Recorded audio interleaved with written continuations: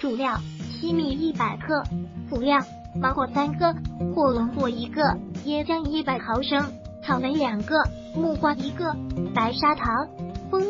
制作时间三十分钟到一小时。木瓜买回来，洗净，用小号刀子交叉切割成锯齿形，将上下两部分分开，用小勺子将其次挖出。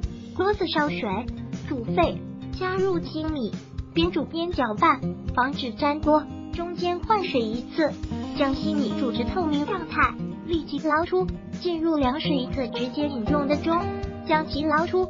控干水分，椰浆倒入碗内，将西米倒入椰浆内，搅拌。芒果切成三份，将果壳切除，使其中一份用小刀子在上面刻画出网格状，翻出，用小刀将其自底部切下。火龙果切丁，草莓切丁，倒入水果粒，放入少许白糖，减肥的省略此步，倒入少许蜂蜜，搅拌均匀。另取一个芒果，斜刀切片。装饰装入锅碗中，装完。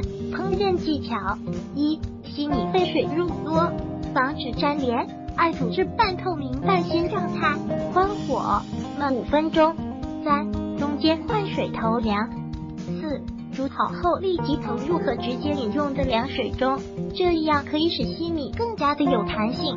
如果喜欢本视频，请分享并订阅本频道。